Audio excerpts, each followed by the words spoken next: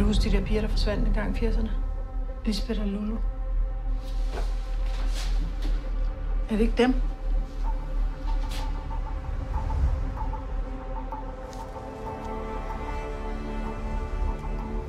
Ingen forsvinder vel sådan helt ud i den blå luft. Det her er ikke nogen true crime-avis. Du holder mig orienteret om hver eneste lille detalje i sagen her. Og hvis ikke? To familier har mistet deres børn. Og de har aldrig fået at vide, hvad der egentlig skete med dem. Jeg kan ikke forstå, hvorfor alle bare vil have, at den her sag skal glemmes.